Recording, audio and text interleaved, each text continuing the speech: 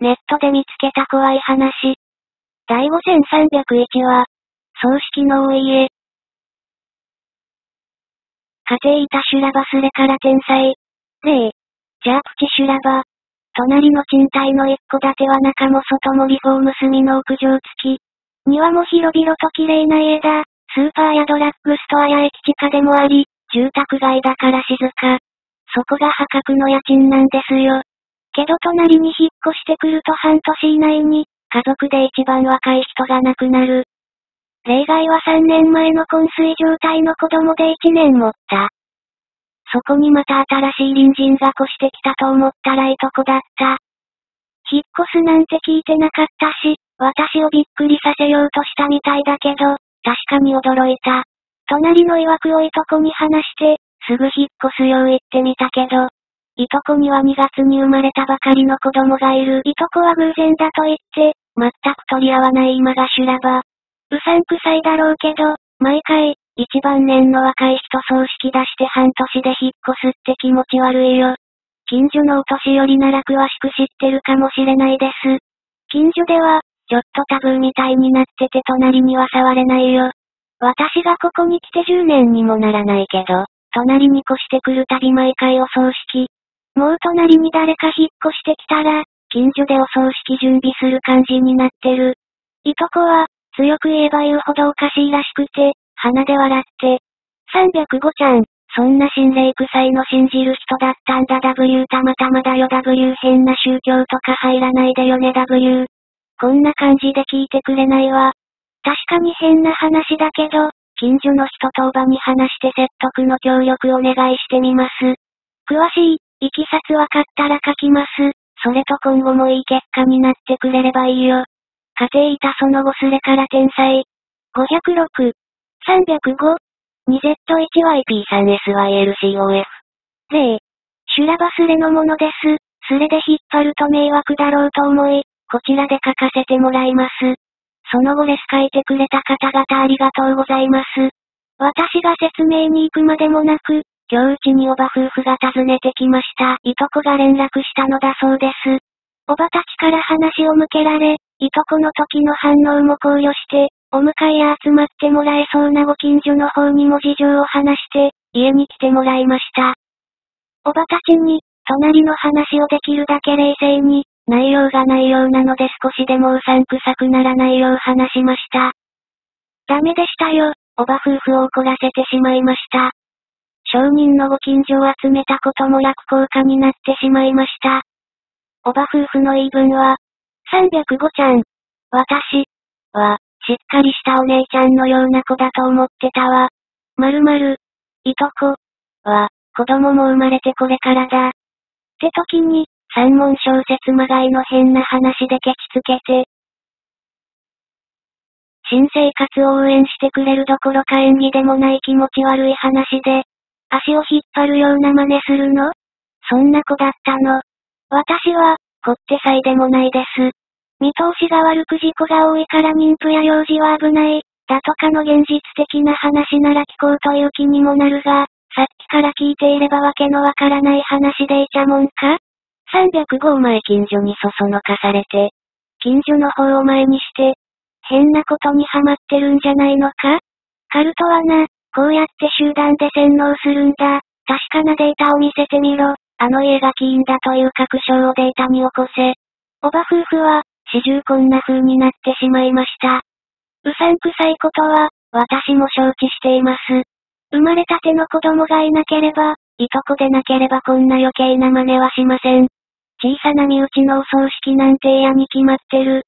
私のホラではない証言に、集まってくれたご近所の方の一人が、林家のオーナーの親戚だったことを今日初めて知りました。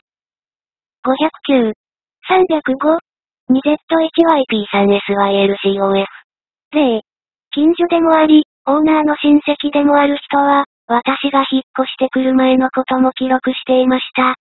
林家に、丸年丸月、入居してきた方の誰が、具体的な名前は伏せ、次男丸祭、丸年丸月亡くなったか、入居者全員であること、例外は、いなかった話もしてくれました。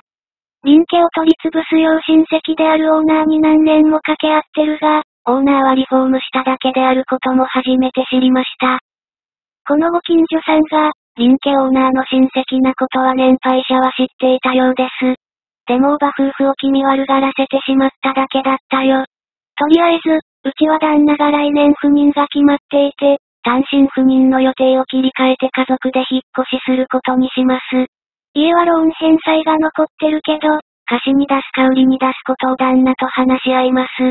単身赴任は嫌がってたから、家族がついていくことは問題なさそうです。なんなら先乗りりしたいよ。近所のお年寄りに。まるちゃん。私。も触ってしまったから、ここから逃げなさい。と気持ち悪いことを言われたしね。今日は、これでぐったりです。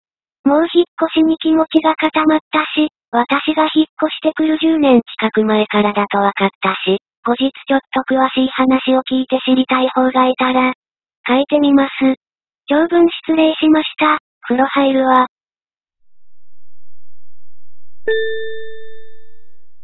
ネットで見つけた怖い話。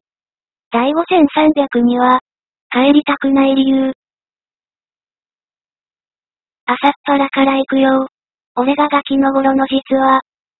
俺には二つ年下の妹がいるんだが、その妹の友達がよくうちに遊びに来ていた。妹は無口で友達が少なく、その子がほとんど唯一の友達だった。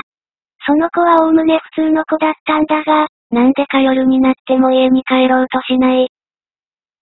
いくらガキでも、他人の家の飯時には帰るというのは分かっていそうなもんだが、その子はうちの母親が、もう帰らなくていいの？って言っても、大丈夫。というばかり。まあ、世の中にはそういう空気読めなくて厚かましいガキもいるもんだけど、その子は単なる厚かましいガキじゃなかった。というのが後で分かった。ある時期を境に、その女の子はぱったりうちに来なくなった。21。しばらく経った後、ふとその子のことを思い出して母親に聞いてみた。まるまるちゃん、最近うちに来なくなったね、と。すると、うちの母親の表情が途端に曇った。なんでも、その子は施設に預けられたらしい。学校も変わり、もううちには来ないとのこと。あんまり唐突なので詳しく聞いてみると、どうも母親が警察に捕まったということらしい。その子は母子家庭だったようで、母親が逮捕されたことで身寄りがなくなり、どこかの施設へ行ったとのこと。しかし、逮捕なんてのはよっぽどのこと。何をしたのかと聞くと、殺人だとかなんとか。その母親には本来、その子の下にまだ二人ほど子供がいたらしいが、生活苦で育てられなくなり、思い余って殺してしまっていたらしい。おまけにその遺体はゴミ袋に入れて押し入れにしまっていたとか。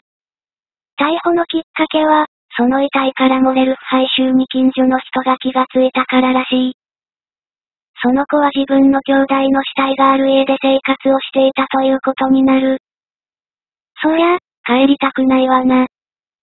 ちなみに俺の妹もそこへ遊びに行ったことがあるらしいが、周差はよくわからなかったそうな。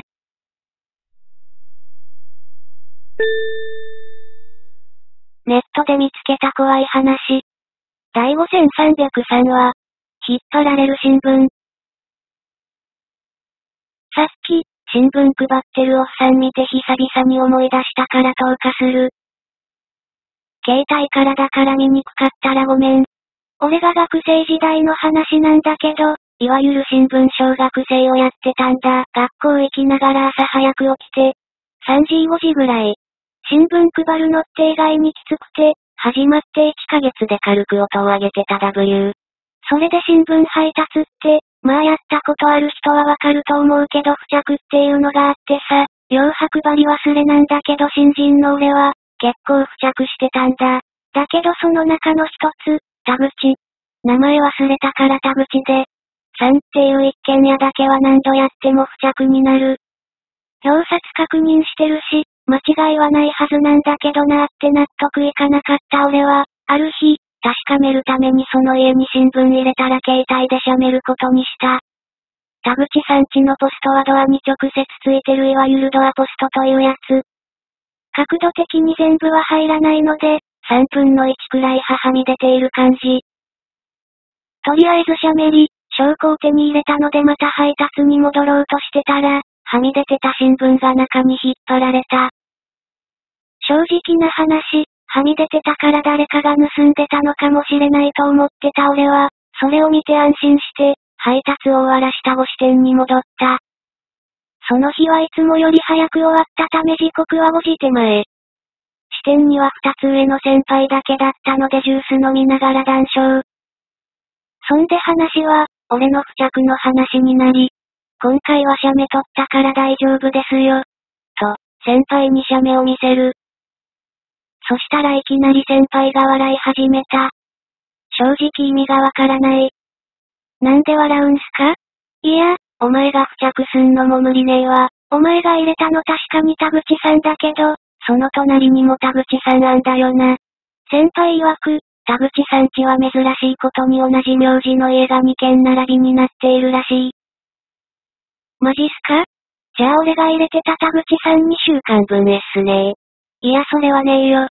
あそこんち1年ぐらい前から空き家で、誰も住んでねえから。え？でも今日中から新聞引っ張られたんすけど。俺の返答に先輩は驚いたらしく、二人で確かめに行こうと空き家に向かうことになった。空き家は鍵がかかっていて、早朝に迷惑ながらもチャイム鳴らしたが誰もいない。もしかしたら泥棒かもしれないと先輩は警察に連絡。しばらくして警察が来て、事情を説明すると、窓など人が入れそうなところを調べ始めた。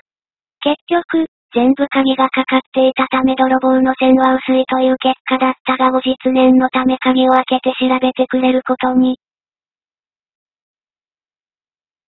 そして後日、ここからは警察に聞いた話だが、中は特に荒らされた様子もなく、窓にもしっかりと鍵がかかっていて、泥棒はまずないとのこと。ただ玄関には俺が入れた新聞が散らばっていたらしい。そして最後に警官が気になることを言っていた。んでもおかしいんですよねこの家のポストってマンションみたいに中に受け皿があるんですが、新聞は玄関の床に直接散らばっていたんですよ。受け皿に入りきらないで溢れたとしても、何部かは必ず受け皿に残る。ただ警官の話では全てが床に散乱していたらしい。そもそものあのポストは中から引っ張らない限り絶対に入らない。誰かが毎日中から引っ張らなければ新聞は入らなくなっていたはずだ。結局、勘違いということでその話は終わった。一応しばらく警官が巡回警備してたらしいが、人がいる気配はなかったらしい。今もその家があるかどうかわからないけど、あの日、中から新聞を引っ張ったのは何だったのかと思うとゾッとする。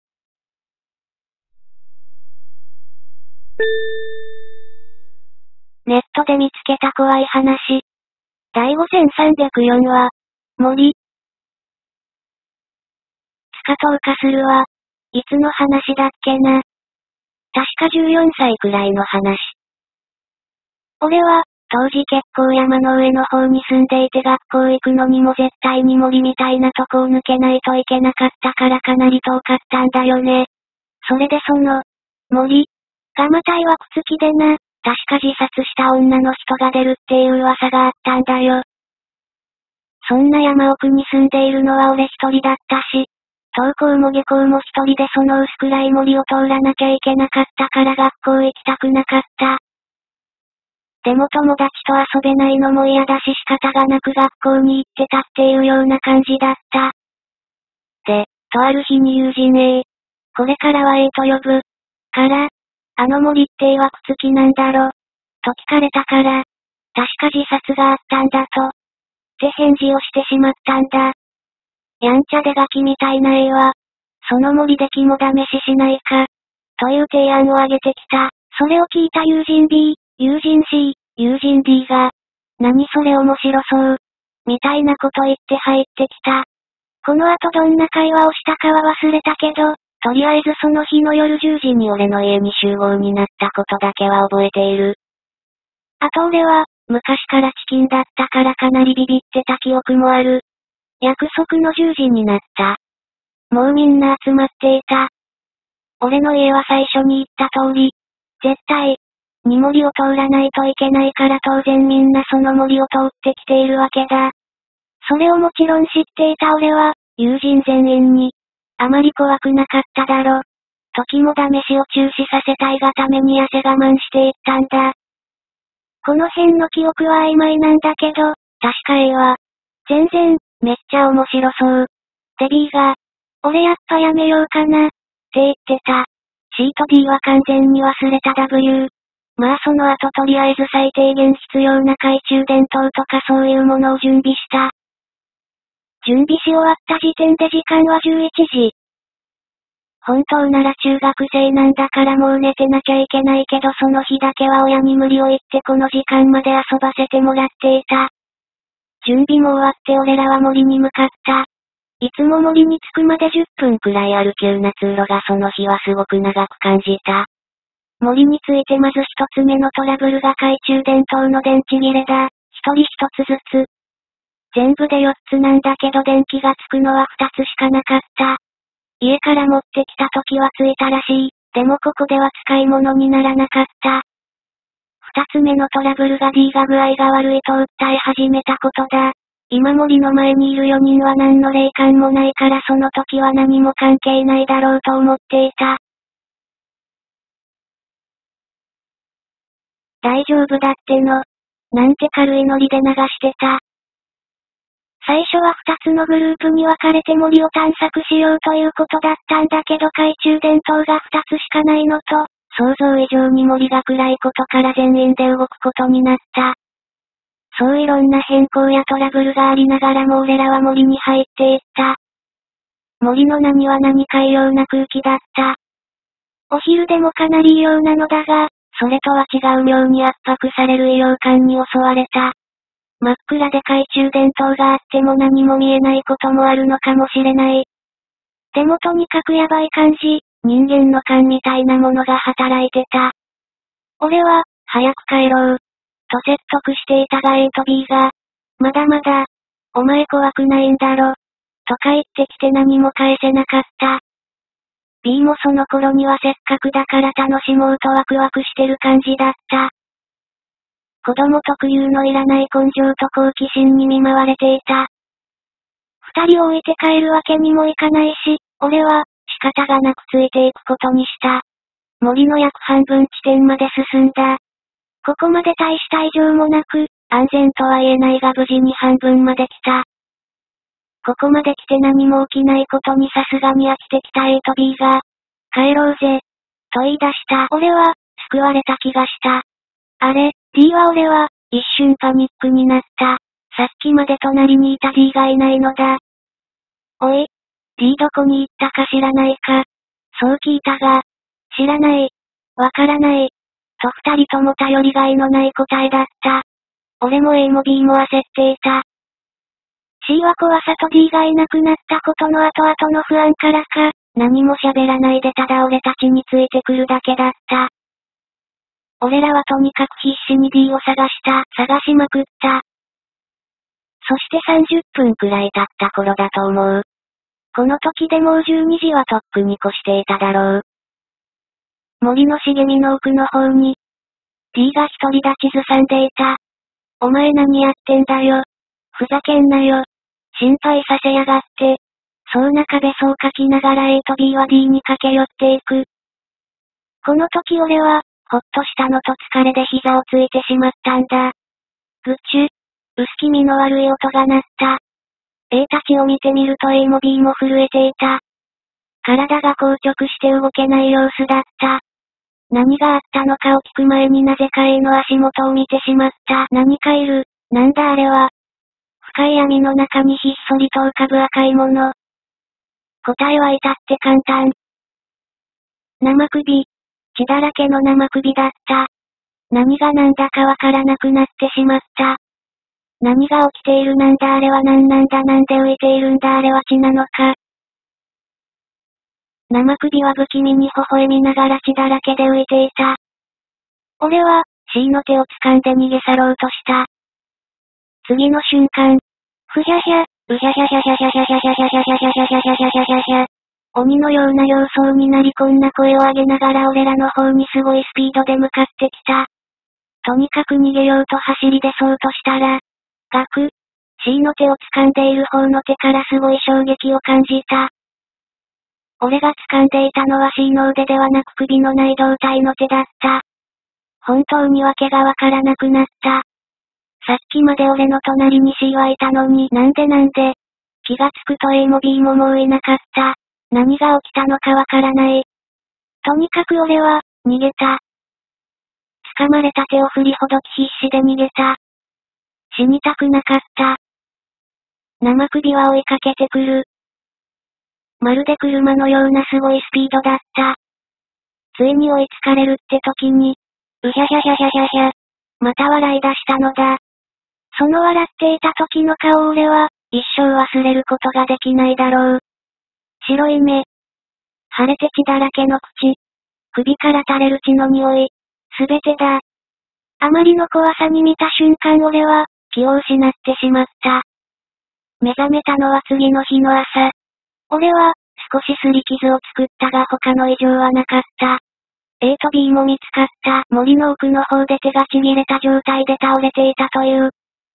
C と D は未だ行方不明。ニュースには俺や A たちの家族からの要望でならなかった。なったら大変だもんな。俺も今は引っ越してあの森がどうなっているかわからないし。なぜか場所さえも覚えてないんだ。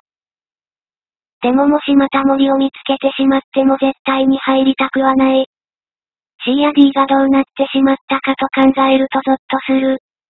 もし自分が C や D だったらと考えるとゾッとしてしまう。今年17歳になった俺だが、こんな体験があった。これは紛れもない実は。信じるか信じないかはお前らに任せるけどこういう体験をしてしまった。それは事実。何か質問とかあったらしてくれ。127。A と B が手がちぎれた状態って詳しく。あと精神状態は ?129。A も B もどっちも肘から幹手がちぎられていた。噛み切られたような跡ってことらしい。精神状態はもうどっちもおかしくて精神病院にいる。A は言葉が喋れないレベル。あとなぜか自分の目をつぶそうとしているらしい。B はある一つの言葉しか喋れない精神科の人によれば、消したてけ。って言ってるらしい。意味はあまりわかんないんだけども。多分、助けて、なのかなって思ったりもする。かなり罪悪感が今でも半端ない。一人じゃ抑えれそうにないからにちゃんに書き込んで。気を紛らわそう思った。って聞かれてないか、わら。ミス。肘から幹手がちぎられていた。バツ。右手が肘からちぎられていた。丸。腕ちぎれて朝まで放置って死なないのか？出血で。詳しくないけど。131。それでは君だけが無事だった。と ?132。俺も医者じゃないからわかんないけど出血多量では死ななかったよ。運が良かっただけかもしれん。133。俺も無事ではなかったよ。帰ってきて一週間くらいは精神が病んでてやばかったし。親が言うには無意識に自殺しようともしていたらしい。でも何も記憶がない。不思議なんだけどね。ちなみに134で書いた事無意識に自殺しようとしていたのは、強力なお守りをもらって、森を離れるために遠いところに引っ越したら徐々に収まった。136、その森はうっそうとしてるのか ?137。結構うっそうとしている。初めての人なら迷ってもおかしくはない感じの森。132。止血しないと死にます。138。夜の森を懐中電灯だけで走ったりできる？普段人が入らないなら道がないからなおさらだろ。122では、真っ暗で懐中電灯があっても何も見えないこともあるのかもしれない。とある。125では後を見ながら走ってるんじゃないかと思わせる部分がある。なんか釈然としない。139。気絶してたらダダ漏れだよな。動物もやってきそうだ。139。マジ ?140。無理だね。実際逃げてる時は適当に走ってたし。近くに来た時は少し後ろを見ながら走ったよ。実際自分がどこに向かうという目的地がなくただ逃げ切れればいいと思ってたから必死で走った。何も見えない。っていう表現が悪かったかな。文才とかなくてすまそう。近くに来たってのは生首がね。その生首は暗くてもなぜかはっきりと見えたし。その生首に追いつかれないように少し後ろを見ながらも全力で走ったの。気合石にはぶつからなかった。何も見えない。って書いちゃってるけど実際は近くに来て懐中電灯を当てればぼんやりとは見える程度だったマレガス。後道は一応あるんだよね。小学2年生の頃くらいからその森を通っていて俺は、だいたいその森の構造もわかっていたし、分かってからは毎回同じとこを歩くようにしていたから懐中電灯でぐるっと辺りを照らせば、どこにいるかは大体分かった。マーディーを探しに行った時は藪の奥に入って道がわかんなかったし、生首が追ってきた時は適当に、逃げ切れれば、という気持ちだけで走ってたからね。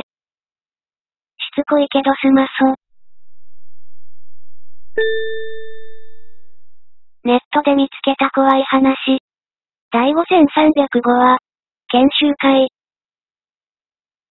文才ないけど、生命保険会社に勤めていた時の話。代理店さんを集めて月1回研修会みたいなのを公民館の会議室、を借り切って開いてた。そこの公民館には10人ぐらい入る会議室が5つぐらいあるんだけど、安いから大体どっかの団体が使ってて満室だった。そこでいつものように会議室を借りて研修の準備をしてた時、トイレに行きたかったから廊下の突き当たりにあるトイレに向かったんだ。トイレまで行くには他の部屋の前を通らなきゃいけない。俺の借りてる部屋が一番端だったから。だけど、ふと見ると右側の部屋のドアが開いてたから、何の気なしに部屋の中を見てしまった。そしたら中年の7人ぐらいの女性が全員部屋の真ん中に椅子を円に置いて中央を向いて座ってた。フルーツバスケットみたいな感じで、髪型は全員一緒で黒髪のおかっぱ。岸田たるの墓のせっちゃんみたいな感じ。それだけでも異様なんだけど、もっと変だったのは全員目が黒目だけだった。目をつむってるんじゃなくて目の形は普通の人と一緒で白目がない感じ。その人たちが誰も一言も喋らずに、一人一人が似合って笑顔。声を出さずに口だけ笑ってる。無表情みたいのを延々と繰り返してた。誰も喋ってないから同じフロアに誰かいるなんてわからなかった。めっちゃゾクッとしたから急いでしょんべんして研修して急いで会社に戻った。何の集まりだったのか未だにわからないけど、目が真っ黒になる病気とかあるのかな。イメージしづらいかもしれないけどそんなことがありました。多分スマソ。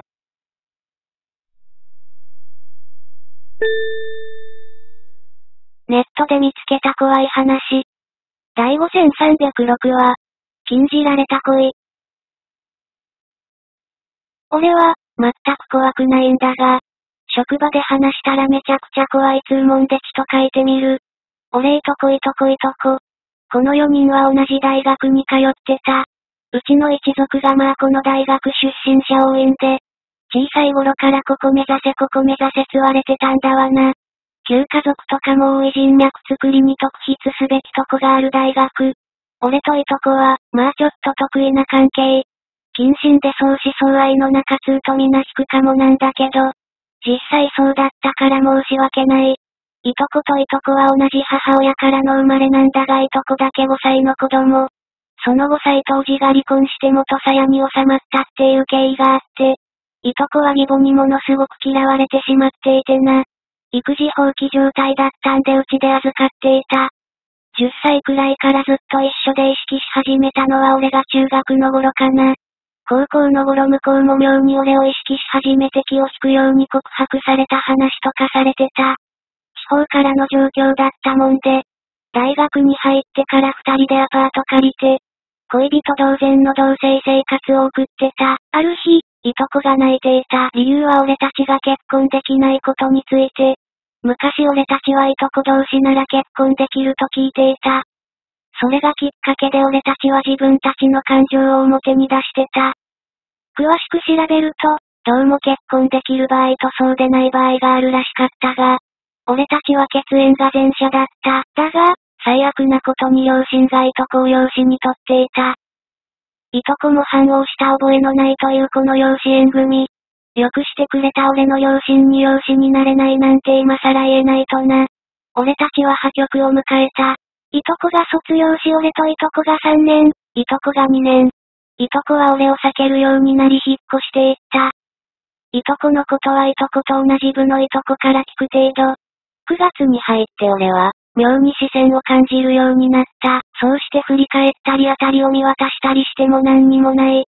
掃除当番で焼却炉近くの人気のない場所に行っても感じるときは感じる。俺は、隠れていとこが俺を見ているくらいであってほしいって願望があるんだろうと思って自重した。ある日俺の部屋が荒らされていた。そこで俺は、いとこの仕業かと思っていた。磁力式の高級品じゃなくてギザギザタイプの鍵だから、そこらの金物屋で合鍵なんて簡単に作れるし、いとこが同棲してたまに作った合鍵でっていうのもあるかなと。実際金目のものとか手をつけられてなかったけど、いとこと俺が撮ったプリクラとか旅行に行った時の写真とか、大事な思い出の品ばかり消えていた。急いでたらしく関係ない写真までアルバムからっぱり出されてた。その夜はアルバム抱いて泣いた、愛した。てる。女を警察に突き出すことなんてできない。時折同じように部屋が荒らされてることがあったけど俺は、届け出ずに我慢した。いとこにとっては俺とのことは消したい思い出になったんだと。向こうが納得するまで探させてややそのうち終わるだろうと。ある日、いとこから久しぶりにメールがあった。すぐに逃げて、今外にいるなら絶対に部屋に帰らないで。なんだそれと思ってアパートの近くまでは行った。俺の部屋に明かりがついていた。しばらくして別の方角からいとこが慌てた風にアパートに走ってきた。俺の部屋の扉が開くなりいとこが2階の手すりに背中を押しつけた。血走った目の男がバール片手にいとこを突き飛ばしてた。やべえと思って走り出そうかとしたんだがいとこを見るなり男が落ち着いた。やりとりを聞いていると以下のことが分かった。男はすごくイケメンでどうも俺といとこが破局した後短期付き合ってた模様。俺のことはいとこから聞いていたらしい。振られた原因は俺にあると思い込んで、俺から嫌がらせとばかりに思い出を奪っていったらしい。男は泣き出しながらいとこに罵声を浴びせた後、いとこが私を殴ってそれでおしまいにしてと言うと、よくなくほっぺたをひったたいて、それで肩を落として立ち去っていった。その後俺は、隠れてたところから出てっていとこを部屋に招いた。もうひどいありさまだったよ。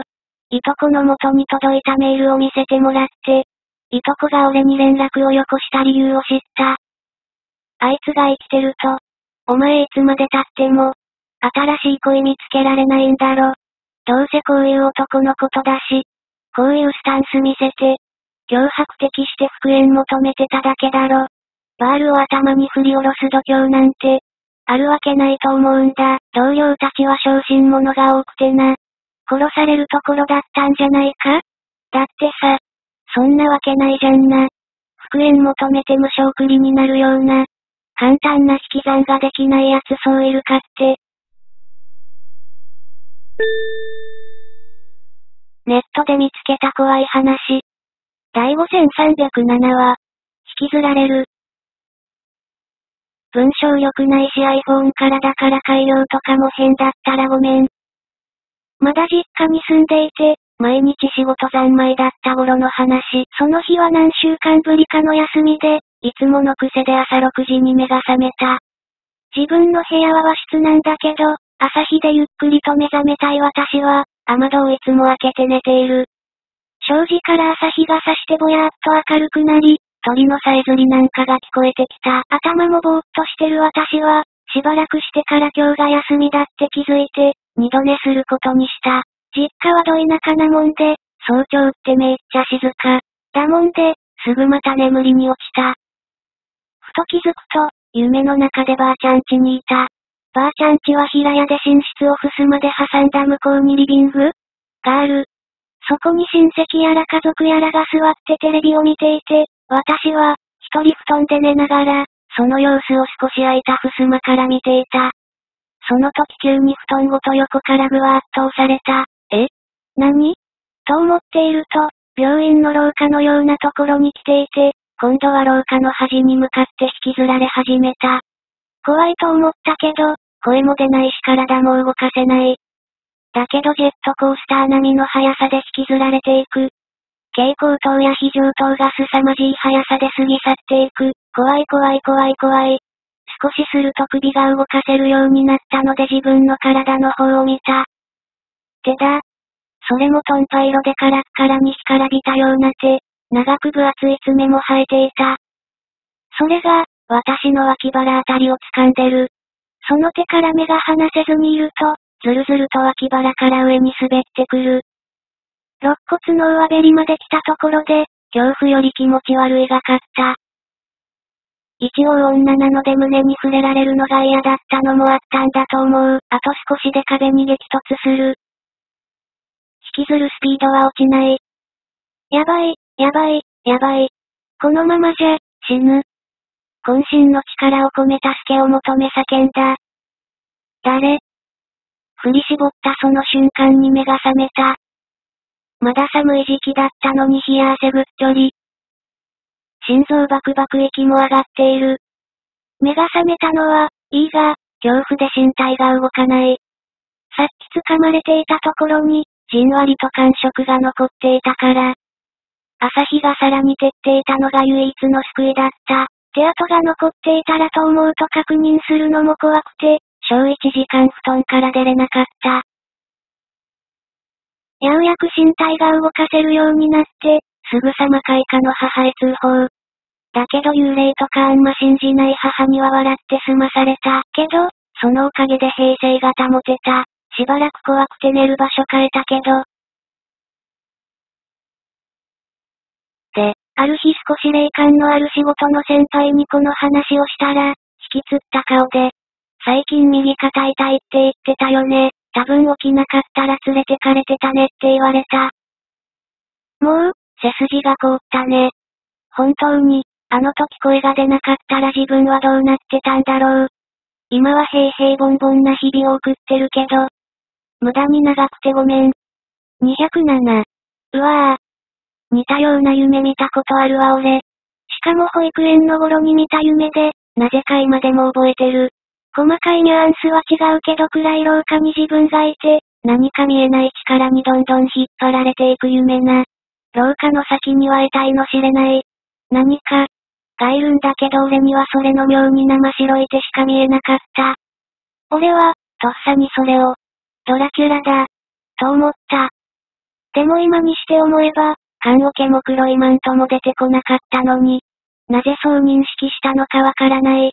その夢見て何かが起きたってわけじゃないけど、妙に生々しい夢だった。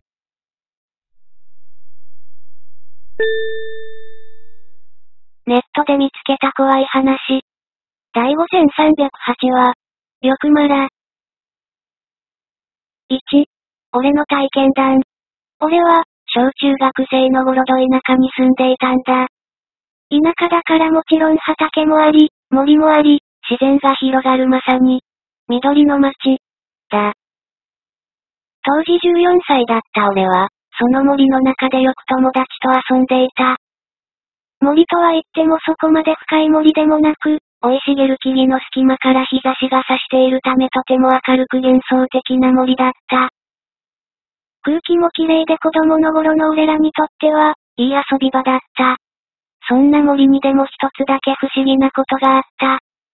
立ち入り禁止区域があることだ。なぜそこが立ち入り禁止なのか、小さい頃の俺らにはよくわからなかった。親には、あそこには絶対に入るな。と小さい頃から言われていたため、入ろうとは思わなかった。あの頃は特に気になりもしなかったしな。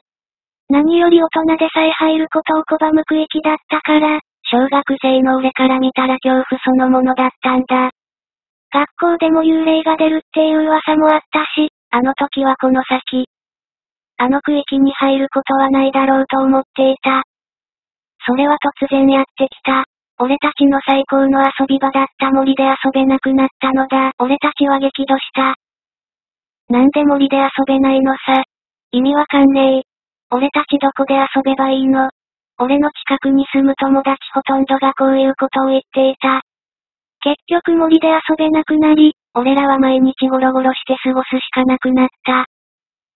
家で遊ぶのもなぜかダメだった。なぜかはわからないけど。森で遊べなくなって2週間くらい経った時だったと思う。ええ友達が、俺らで森に行ってみようぜ。って言ってきた。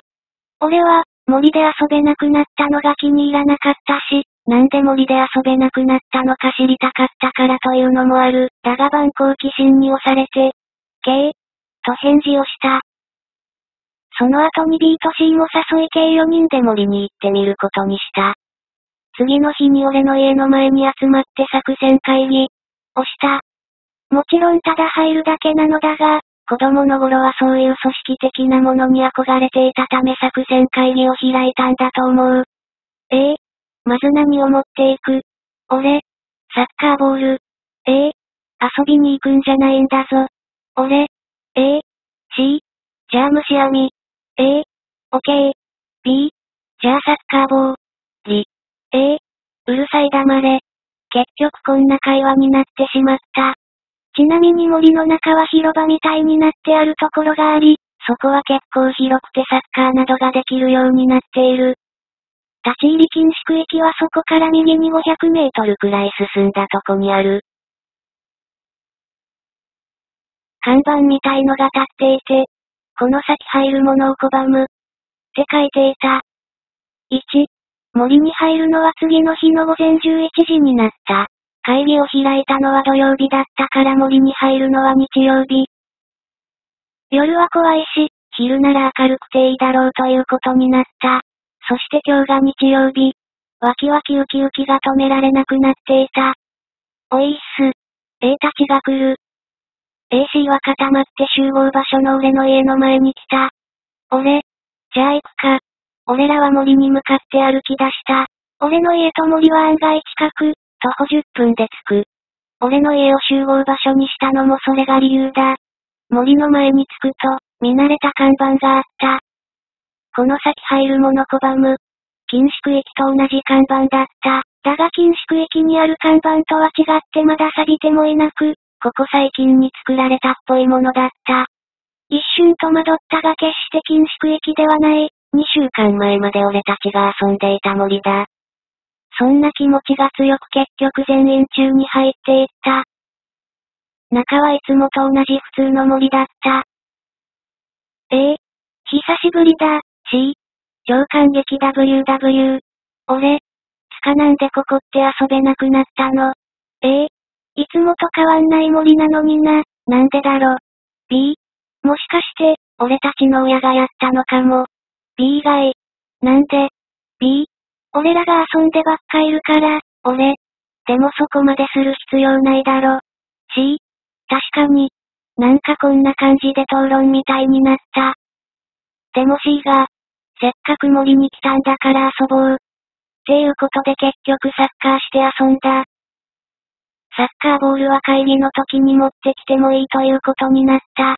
時間は多分6時を超えている。真夏だったため日が落ちるのが遅く、まだ明るかった。森に来たのも久しぶりで、時間も忘れて楽しく遊んでいた。C、楽しかったな WW。俺、やっぱ森で遊ぶの最高だわ。A、B、確かに。こんな会話をしながら休憩してたんだ。A、じゃあ帰るか。A がそう言った瞬間。とっさにこの言葉が口から出た。俺、まだ遊ぼうよ。いくら真夏で日が落ちてないとはいえ。親が心配するのもわかっていた。だけどまだ森にいたいという気持ちが強かった。それは C も B も同じだったらしく、まだいいじゃん。などと俺と一緒になって言っていた。仕方がなさそうな顔をして A も、わかったわかった。と言ってくれた。1、森でまだ遊ぶとはいえサッカーも飽きたし、他に道具も持ってきてない。あるのは虫や耳くらいだが、今はそういう気分ではない。俺らは何をするか考えた。10分ほど考えて何も思いつかなく。やっぱり帰るかという話になってきたところで、禁止区域行ってみない。B がそうつぶやいた。最初はびっくりしたが、その後、俺、怖いし行きたくない。と返した。だが、A、C、行こうぜ。通してきた、嫌だよ、と返すが皆の気迫に押されてしまい OK してしまった。ここで禁止区域の詳細を教えておく。まず禁止区域は先ほども言ったがサッカーができる広場の右に500メートル進んだところにある。禁止区域だけ大人も入ることができないため、草木がぼうぼうに生えていて、そこから先は結構暗く、ひんやりとしている場所である。当時の噂では、ずっと奥に進んだところにお墓がある。誰かが集団リンチにあって殺された。などがあった。だが誰も入れなかったため詳しいことはよくわからないところであった。つか全然詳しくねえ www。危険区域の前に着いた。多分着いた時は6時20分とかその辺。森とは違う何か変な威圧感があった。まるで看板の先は別世界のような、そんな感じだ。それに構わず A がずんずん遠くに入っていく。それに続いて俺らも入っていく。ええ何があるかな ?C? 知らねえよ。噂通り墓とかあるんじゃないか。俺 ?B? おい、俺の名前。なんか暗いぞ W そんなに怖くないだろ WWW。その時に湧いているのは、怖い、という感情ではなかった。何者から見られている。そんな威圧感を感じ、不安、を感じていた。そんな時だ。C? おいちょっとお前ら止まれ。いきなり C が少し怒り口調で言ったのだ。B、どうした蛇でもいたか。そう聞き返した。だが C の口から出た言葉は俺たちの予想を超えた言葉だった。誰かに見られている。一瞬その場が静まり返った。空気が重い。誰も口を開かない中、俺は、言った。俺、俺もさっきから誰かからの視線を感じる。実際俺も先ほど書いたように何者からか見られている威圧感を感じていた。だがここで A が反論する。A、でも俺気づかなかったぞお前らの勘違いじゃないか。B、そうだって W 全く C はビビりだな WWW。C、絶対に見られている。C がいきなり怒鳴った。俺は、この会話に完全についていけなくなっていた。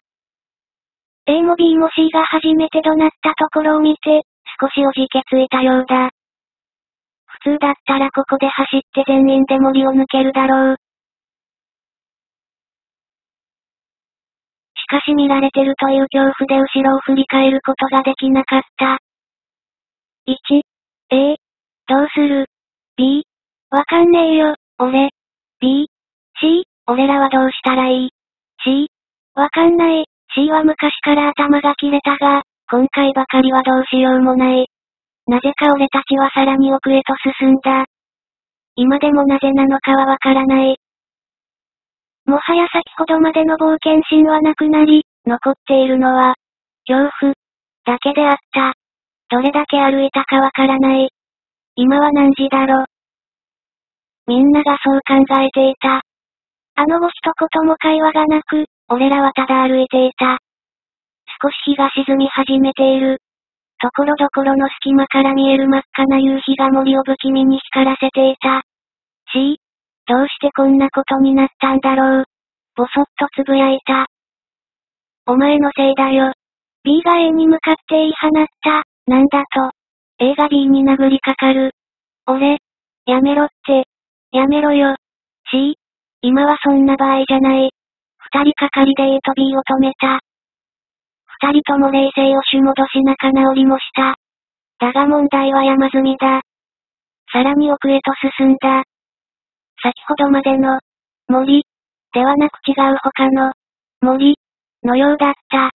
この森がこんなに深いということを初めて知った。それとは関係なくあの視線と威圧感は、まだ消えていない。むしろ強く感じるようになっていた。とうとうついてしまった。恐れていたことが起きた。最深部についてしまったのだ。森を抜けたその先には大きな湖があった。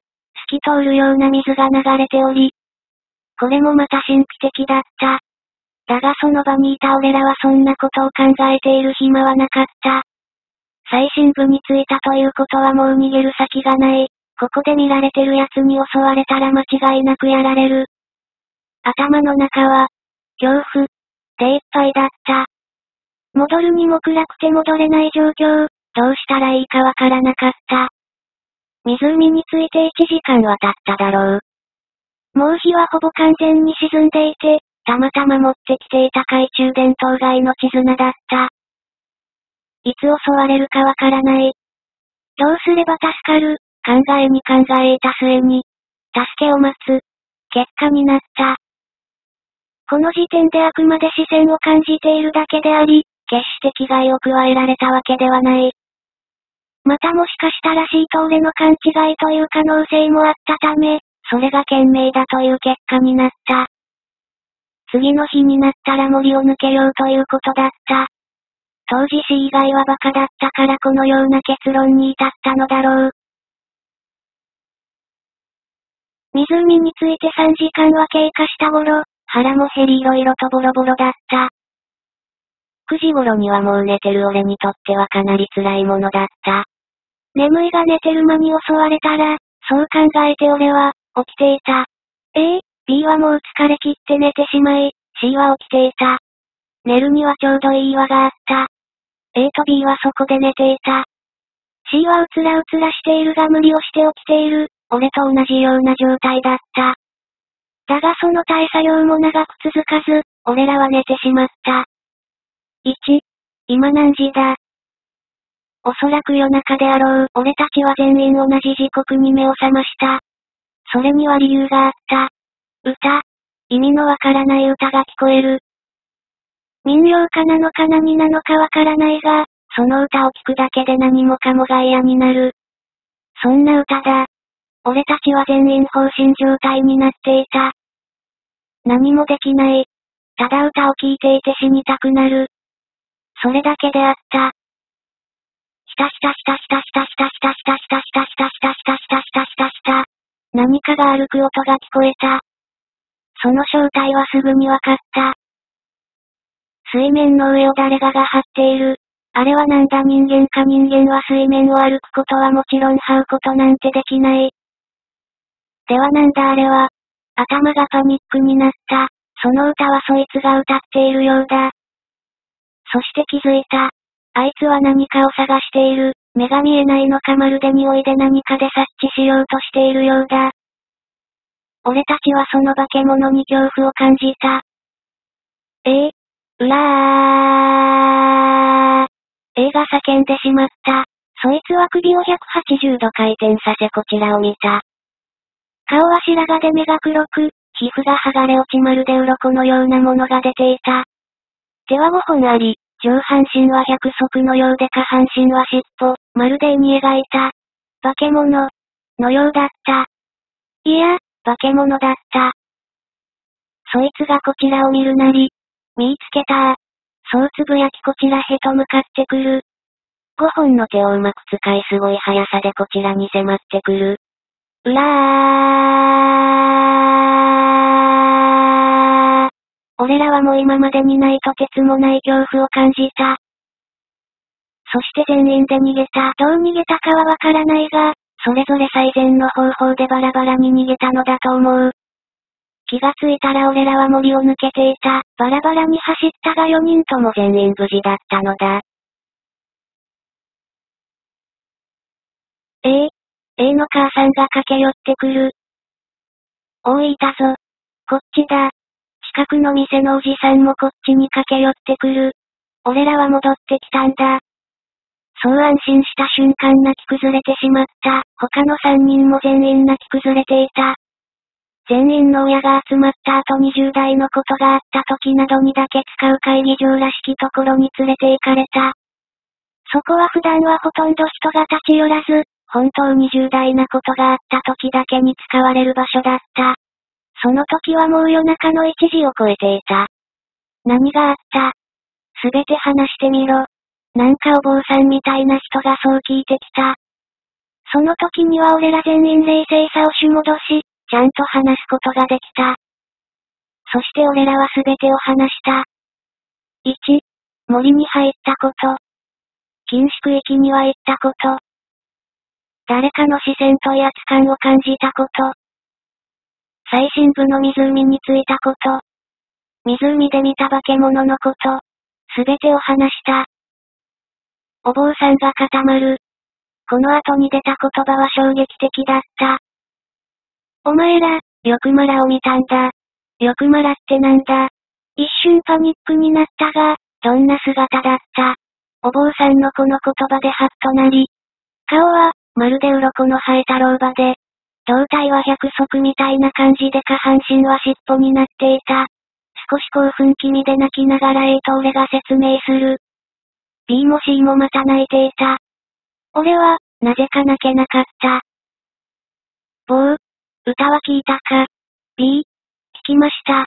ぼう、そうか、どんな感情になった ?C、とにかく何もしたくなくなり、死にたくなりました。ぼう、お坊さんは固まってしまった。そして少し時間が流れ、すべてを話してくれた。あの、化け物、は、よくまら、というらしい。あいつは怨念の塊で、すごく強い力を持っているそうだ。奴が歌っていた歌は昔、人を殺すために歌われた。呪いの歌。聞いただけで死にたくなったのはその影響らしい。よくまらは基本的に湖にしか現れないらしい、自爆霊というわけだ。でも、禁止区域、から、視線、お使い湖まで来させることができるそうだ。俺たちが感じた視線もその視線だろう。顔にある、鱗、は取り込んだ怨念の数を表しており、5本の手は、よく、を表しており、下半身の尻尾は、ま、を表しているらしい。これが名前の由来だろう。昔はマラネジン馬とも呼ばれていたが、今はよくマラと呼び人がほとんどだそうだ。よくまらは目が見えず、鼻もあまり良くないらしい。ただ聴力だけがすごいそうだ。映画叫ぶまで見つからなかったのはそれまで音を立てていなかったからであろう。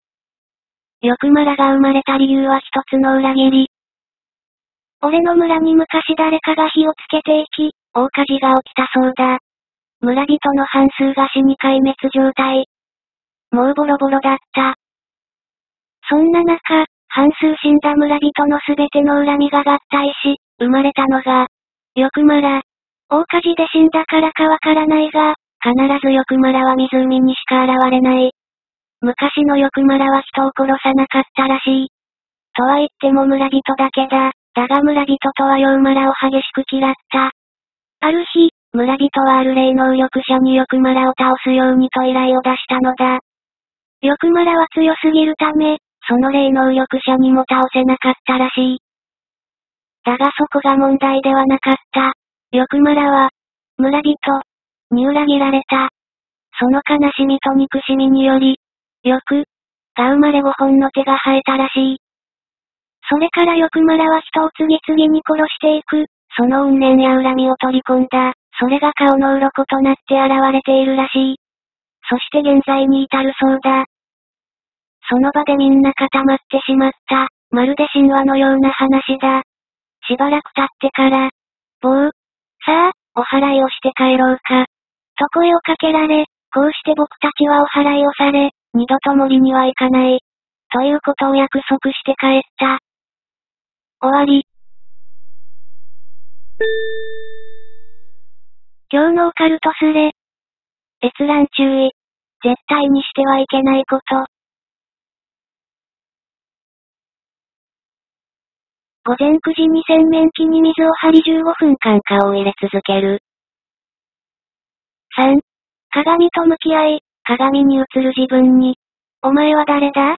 と、言葉に出して問い続けること。家に姿見のような大きめの鏡がある方は一度試してもらいたい。鏡に映った自分を見ながら、お前は誰だ？と言ってみてください。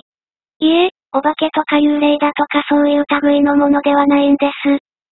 鏡に映った自分の目を見ながら、お前は誰だ？と言ってみてください。何か不安感というか、奇妙な感覚にとらわれるかと思います。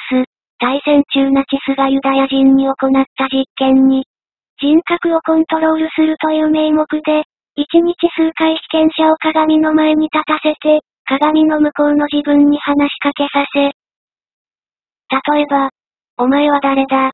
と会話せ、精神の変化を観察記録していったそうな。実験開始後、10日間経過した頃には異変が見られ始めた。判断力が鉛。物事が正確に把握できなくなり、そして3ヶ月経った頃にはすっかり自我崩壊し、自分が誰だかわからなく、なって狂ってしまった。というのを以前軍板で見たんですが、とうこと、好奇心旺盛だった友人、以下、と僕は、嘘くせい試しにやってみようぜ、ということになった。その日、自宅の姿見の自分に向かって、お前は後やってみた。夜中、締め切った部屋だったので不気味極まりないのですが、テンション上がってたので怖くはなかったです。しかしすぐに気分が悪くなり吐き気を催し、僕の顔がキモかったからではないです。やっぱやばいなと思って私は、やめた。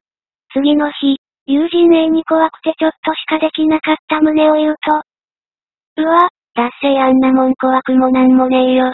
とこうましかにされました。そして二人の間でこの話題はここで終わったのです。しばらく経って鏡の話など忘れてしまった頃、A がしばしば学校を休むようになった。登校している時に何かあったのかと聞いてみたが、ん、なんでもない。と、どこか上の空のような感じでした。それから数日後、夜中急に A から電話がかかってきた。そして受話するや否やいきなり A が、俺って俺だよな？俺って、間 XXX、A の本名、だよな？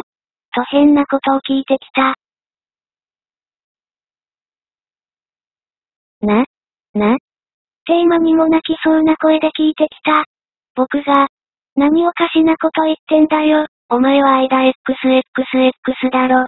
と答えてやると。そっか。そうだよな。と、A は少し落ち着いた様子でこう続けた。実はさ、あの後も何度か鏡に向かってやってたんだ。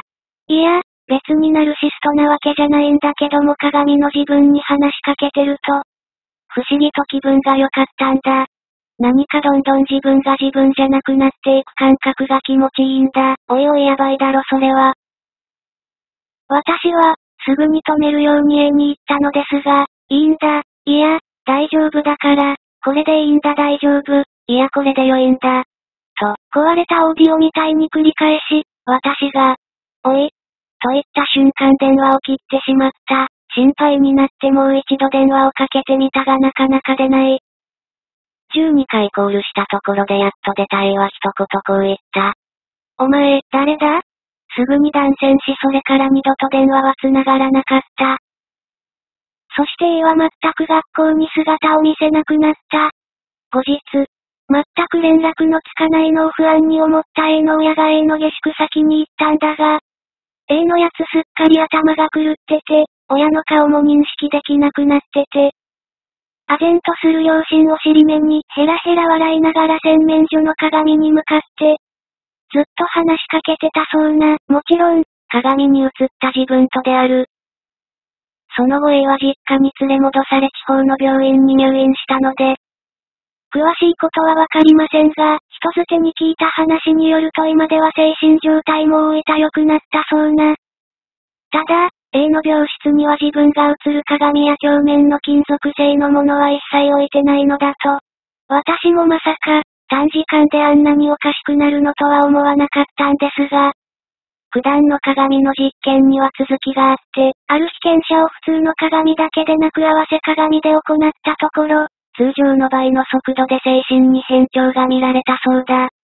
そう、A の洗面所の鏡は三面鏡だったんです。家に姿見のような大きめの鏡がある方は一度試してもらいたい。鏡に映った自分の目を見ながら、お前は誰だ？と言ってみてください。何か不安感というか、奇妙な感覚にとらわれるかと思います。暗示にかかりやすい人はお手軽かつ、簡単に狂うことができるので、絶対に継続してやらないでくださいね。最近顔を洗って鏡を見たら知らない女が映ってて驚いたが、よく見たら自分の顔だったってことがよくあるんです。私って私ですよね？リンク。6。狭い空間で練炭を燃やし続ける。10。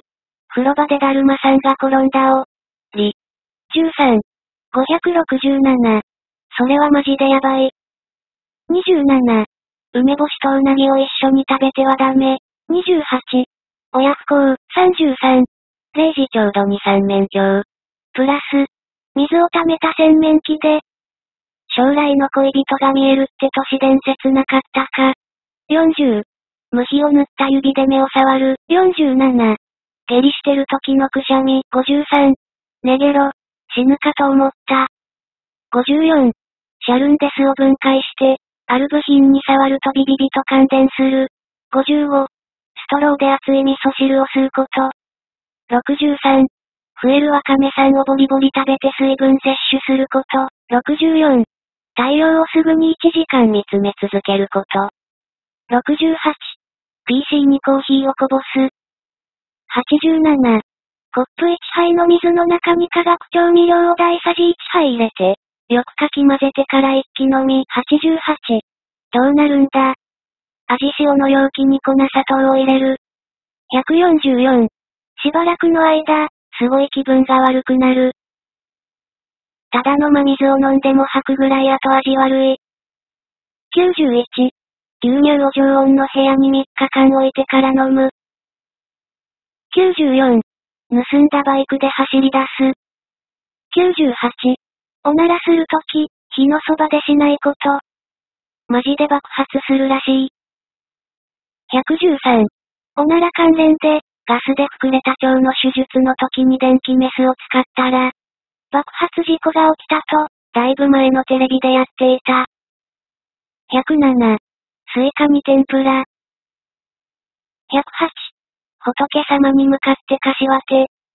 111。使った用事を元に戻す。エコには、いいかもしれんがやっちゃいけないよ。112。これだけは絶対にやるな。犬のゲップの匂いを嗅ぐこと、悶絶するほど臭い。117。お地蔵用に錠をかけること。て母さんから聞いたんだ。118。足の爪の匂いを嗅ぐ。122。手はオカルトいたらしく、お墓で転ぶ。靴サンダルの片方だけ置いてくれば OK。お墓で帰り際においでおいでをする。絶対にダメ。123。手招きがいけないんですか？お盆にお墓参り行った帰り、神社の敷地内の住職さん家の猫と息子が遊んでて、思いっきり、早く帰るよおいでー。って呼んでました。手招きしたかどうか覚えてないけど、どうしよう。大丈夫か不安になってきました。129。おへそのごまを取る。言い伝え通りに必ずお腹が痛くなる。130。日が暮れてからの爪切り、入れは知らない。131。横になってる人をまたぐのはダメ。171。連れは、いつも俺の顔をまたぐからムカつく。何様だ。って毎回思うよ。134。自殺者をかわいそうだと同情すること。真偽は知らんが同情すると疲れるって聞く。135、卵を電子レンジでチンする。動画リンク。151、コードを挿した電気スタンドの電球を外し、それをはめ込む王の部分に指を入れる。161、火事出した店舗と取引しない。火事になった土地には行かない。火事現場にはまない。火事出した業者は、ダメ。火事出した店には行かない。火事の場所から配達させない。火事や土地の店のものを玄関に立たせない。玄関先で集金もダメ。165。回転寿司で皿を取らずにネタだけどんどん食って流す。168。それ目撃したことあるわ。すんごい年寄りの夫婦が多分初回転寿司らしく、回転寿司のシステムを知らずに流れてる皿から寿司だけ取って食べてた。会計に来た店員がちょ、笑ってなってたな。ちなみにパネル発注も知らないから、エビと変な軍艦ばかり食べて、上がりはお湯でした。でも奥さんのために寿司を取る旦那の顔は勇ましかったな。そういうものに私は、なりたい。167。中国人に倫理道徳感を諭す。176。サイドブレーキをかけたまま、高速2里で。ON。178。アルミ箔を奥歯で噛む。196。タクシーに乗って走ってる時運転手に突然後ろから手で目隠しをして。誰だ？当ててごらん。という。197。炭酸清涼飲料水に、歯磨き粉を入れて飲む。しゃっくり止まらない。198。エレベーターの中で夢中で鼻くそほじってたら急に乗り込んできた若い女性に、思いっきり見られて気まずい空気になった時、お一ついかが？と鼻くそを差し出してみる。ただし、その女性が何事もなく受け取って、見事な鼻くそね。と言ったらあんたの負け。199。缶桶にアルミホイルに包んださつまいもを入れる。201。それを週骨の際に泣くふりをして食べる。303。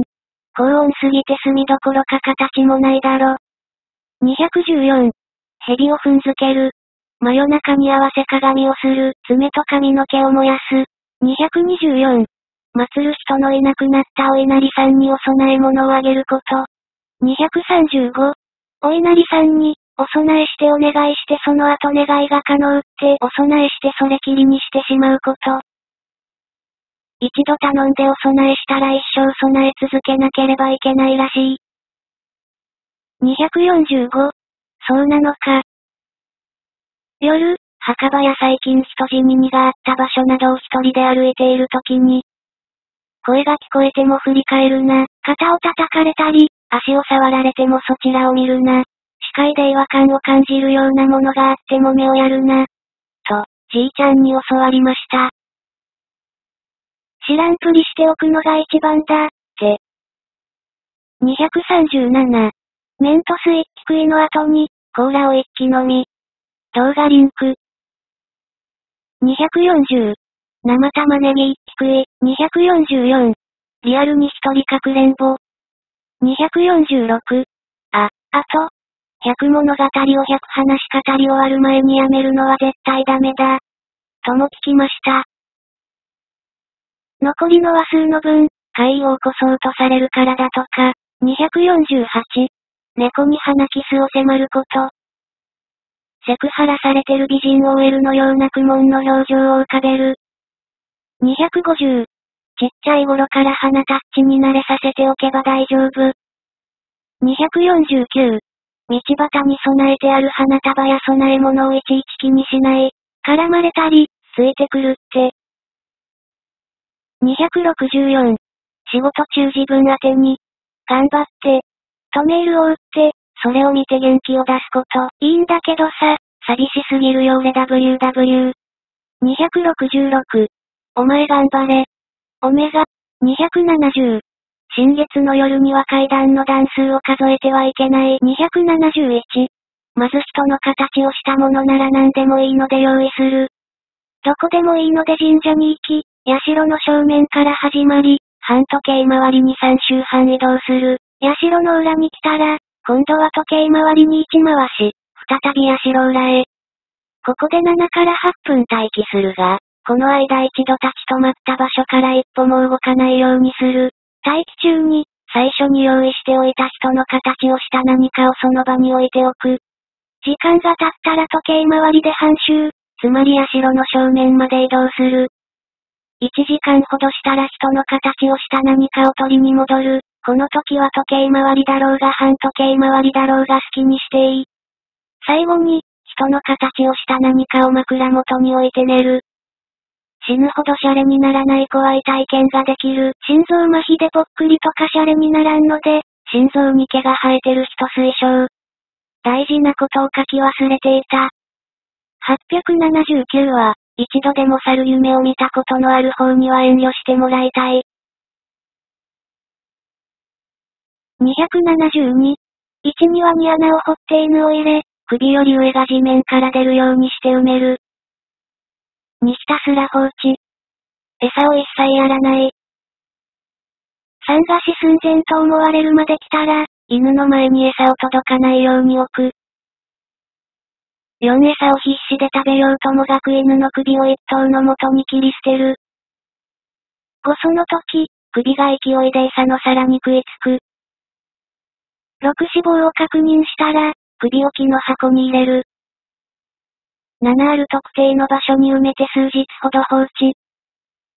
現代ではこれは難しい。8取り出して祭壇に乗せ、祈祷して祀る。旧犬神が祈祷をもに取り付く。犬神が取り付くと、欲しいと思ったものが手に入るが、必ず誰かが犠牲になる。また、子孫代々ずっとつき続ける。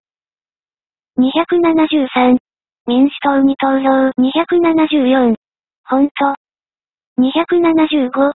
船幽霊に被尺を渡すこと。276。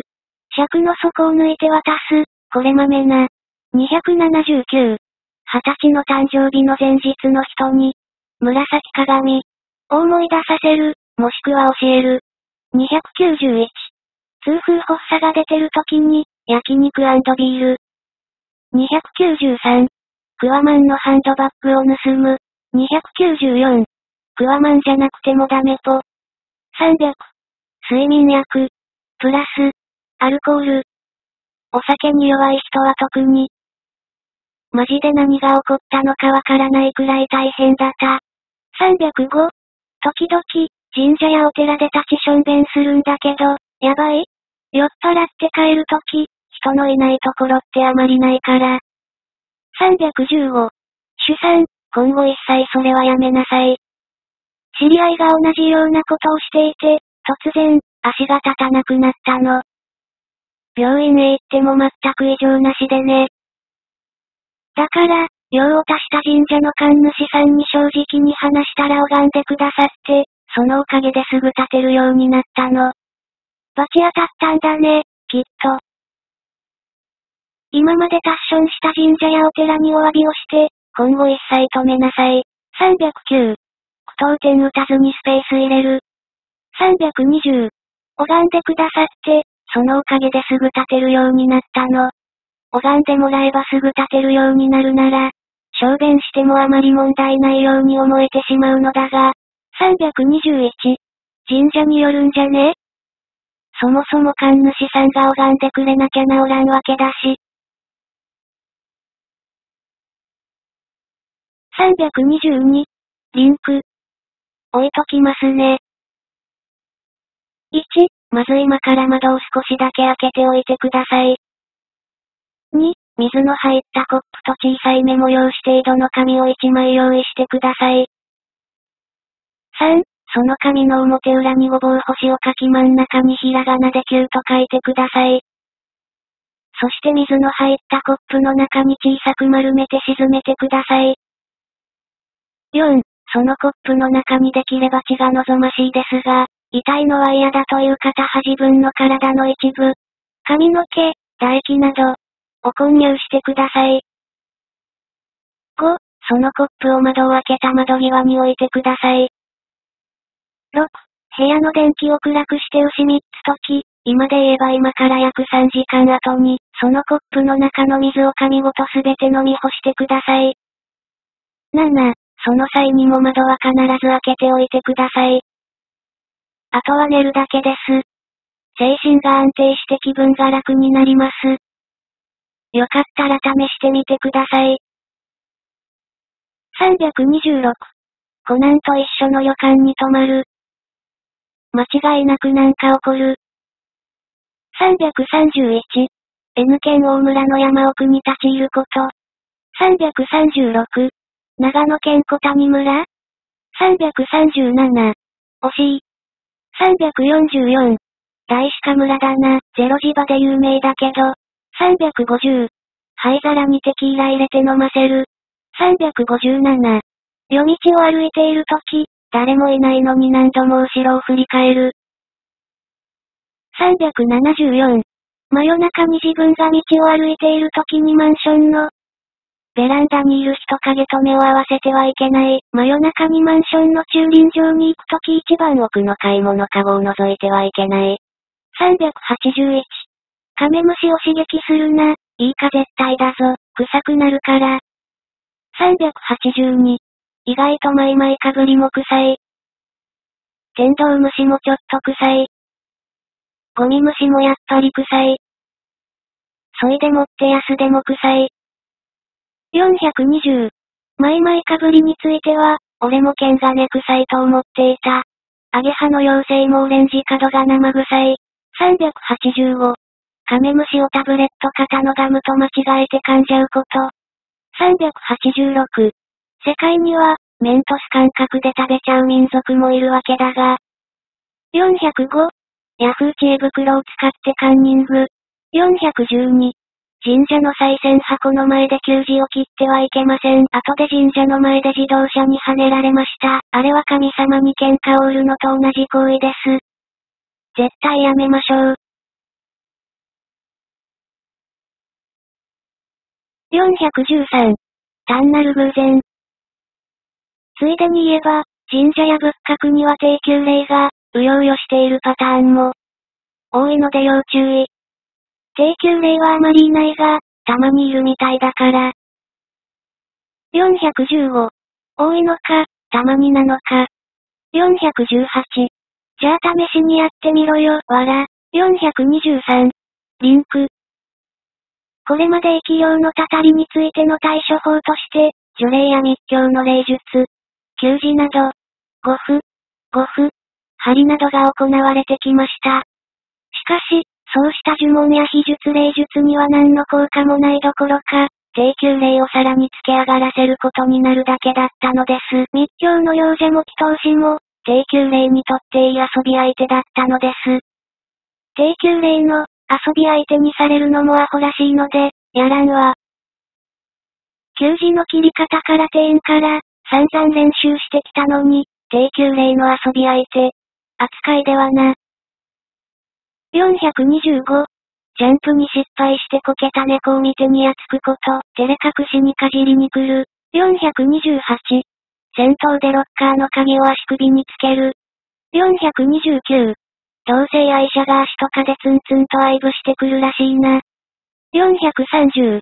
夜家で自分だけ起きてる時に玄関の前に立って、玄関に背を向けて2回玄関に向かって3回手を叩いて外に出る。434。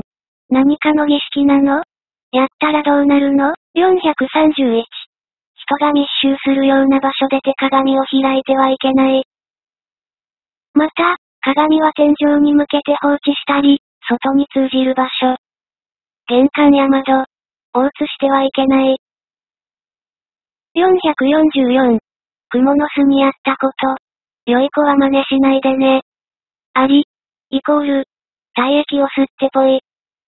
バッタ、イコール、糸でぐるぐる巻きにして保存、カマキリ、イコール、天敵なので雲ガスを放り出して逃げた。雲をいたずらしたらバイクで乗用車と正面衝突した。全治1ヶ月だった。453。俺は、小学生の時、学校の植え込みの中にあった巣にアリを数匹落としたけど、全部糸で巻かれてたよ。雲が小さかったからだろうか。454。雲の腹具合にもよると思われ。俺がアリンコを試したのは親指ぐらいある大きな雲だった。雲がヘビー級だとしたらカマキリはバンタム級ぐらいだったが、食物連鎖の関係なんだろうか。446。チベットの子供の頭を撫でる。455。特定の人物の挨拶、会話、連絡に対して、すべて、お前何言ってるの？って返事する、その後無視。自分は、被害者です。ORZ。457。お前何言ってるの？って返事してたらどうなるの ?458。はぁ、あ、お前何言ってんの ?460。はぁ、あ、お前何言ってんの？?459。お前は誰だけいこええな。476。胃腸弱いのに牛乳一気のみ。483。朝昼晩毎日丼大盛りのユッケを食う。500。たらこを食った後に。蜜やサイダーを飲むとゲロまず。649。本当だ。まずい。504。エレベーターなどの密室での強烈な放費。546。こっくりさんをやってる途中で、10円玉から指を離す。570。瞬きしないで鏡を14秒見た後、深く目をつぶってゆっくり開ける。571。なんで ?572。ご飯。お茶碗に盛った白米。に箸を突き立ててはいけないと教わった。行儀が悪い以外にも意味があったような。580。それって死者に備えるご飯って聞いた。575。祖父に山で変な鳴き声が近寄ってきたら絶対に返事をするな。返事をせず一方的に通りたいからどいてくれって頼め、その内側音が離れていくから絶対に振り向かず山から降りろって教わった。理由は教えてくれなかったんで脅かしたかっただけかな。591。百物語で似たような話があったな。名前は忘れたが、妖怪がいるそうな。582。してはいけないことというよりも感じたら最後ってなやつだが、電車に乗っていて車窓からの風景や車内の人間が、無機質な存在にしか感じ取れなくなったら投資なんだとか。585。アーリヒト感ね。普通の人でもなるらしい。繰り返したり長く続くと病気。糖質とは限らない。584。女性限定だけど、ブリッジしつつ足を交差させてはいけないって聞いた。586。なんで ?597。5体揃ったお人形さんを可愛がること。実際、身内の寝台割になってくれて、命が助かったんだけど、普段粗末に扱っていたら、どういう結果になっていたのだろって、考えたらゾッとした。間違いなく、霊は入ってしまうよ。599。それを言ったらリカちゃん人形で遊ぶ幼女はかなり存在に、扱ってるよ。600。リカちゃんか。悪い。こと足らずでした。昔、通販で10ヶ月の赤ちゃんの大きさの人形買って、服とかも着替えさせたり、抱っこしたり、高校生だったのに赤ちゃんが好きで、可愛がってたら坊さん曰く魂入ってしまったようです。気合入れすぎたかも。602? なるほど、なんかわかる気がする。浮遊霊が入り込んじゃったんだね。この子が可愛がられているのを見て羨ましくなったのかな。そのお礼に身内の悪いものを背負って登ってくれたのかな。お人形さんに入っていた霊に合唱。人を、604。レスありがとう。そうだね。寝台割になってくれたんだと思う。たまたま姉が車で出かけるって言った時、初めて、この赤ちゃん連れて行けば？ってわざわざ可愛い服に、着替えさせて車に乗せたの。姉はその後、今日でも運転変わってくれって。強引に行った奴に代わってやって助手席に乗ったら、車がお釈迦になり、どういう若人形の首だけすっ飛んで、運転してた奴の隣に血がついて転がってたんだって。姉は助手席にもかかわらず指の骨折だけだった。今、思い出しても、涙が出るぜ。605これが人形最強伝説の始まりか。606自分にしか当てはまらないけど、軽いノリで不吉なことを言うこと、それまでも何気なく発した言葉がそのまま自分に返ってきたことは何度かあったけど、高校生の頃に滅多に起こらないようなことがその日のうちに返ってきたことがあって、それ以来絶対にそういう発言をしないように注意している。607。人を呪わば穴二つとはよく言いますが、実は自分も。606。3と同じ。誰かを貶めたく思ったり言ったりすると、必ず悪いことが返ってきます。なので、良いことをなるべく考えるようにしていますよ。神様、仏様はやっぱり見てますよ。623。自分を否定すること。631。逆手拍手。644。そうめんを開封したまま常温で放置。米をノーガードでなり行き任せで室内に放置。今食べてるのは虫の食った残りカスだ。この間かゆにしたら芋虫が浮いてやがった。ORZ673。米を食う虫には発がん性物質を出す者がいる。